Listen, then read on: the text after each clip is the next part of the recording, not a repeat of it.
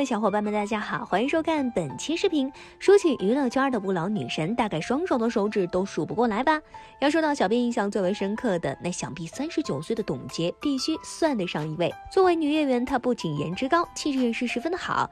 对此，网友也是纷纷评价为气质女神。特别是在她出演了金粉世家的冷清秋之后，网友们对她的印象更是念念不忘。而在这儿后，他就鲜有作品出现，而且都不出名。而这次，他搭档任达华带这部新剧《澳门人家》回归了。目前这部剧正在热播中。要说这部剧，主要是以回归二十年的澳门日常做背景，主要我们讲述了一个二十年来普通澳门人家最朴素逼真的伦常生活。其实，董洁和任达华在剧中扮演一对父女。因为时间跨度关系，董洁还扮演了少女期的女主，因此也备受网友们的争议。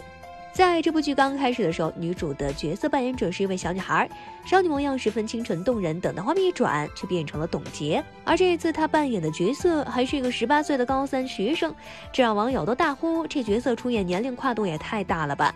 其实这也不怪董洁，主要是这部剧的时间线跨度十分大，所以就要求董洁出演一个十八岁的高中生。只见她身穿高中校服，模样依旧十分清纯，而且姿态也像极了当年的冷清秋。刚开始，粉丝朋友。还是十分开心的，他们欢呼，并希望这一次董洁能够突破自我。但在看完一集之后，小编却发现网络上多了很多关于她的吐槽，其中就有粉丝指出，董洁如今看上去有些疲惫和老态，特别是脸上有些沧桑的即视感。无论视频滤镜有多强大，这次董洁都没有恢复当初的少女感。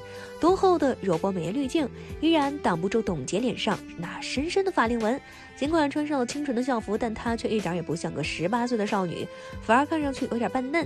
这样的董洁很真的是令人感叹唏嘘。冷清秋已经不在了，粉丝们也都表示看到这样的董洁，让不少人都觉得有点跳戏，甚至就连剧中的姑妈扮演者看着都要比董洁年轻。不看造型，我们也根本分不清谁是姑妈。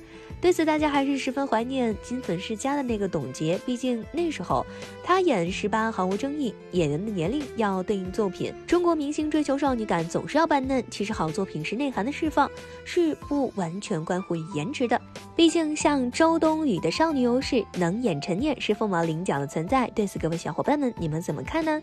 欢迎大家在视频下方进行评论留言，小编期待与大家进行讨论回复。好了，本期视频到这里就要结束了，我们下期节目再见吧。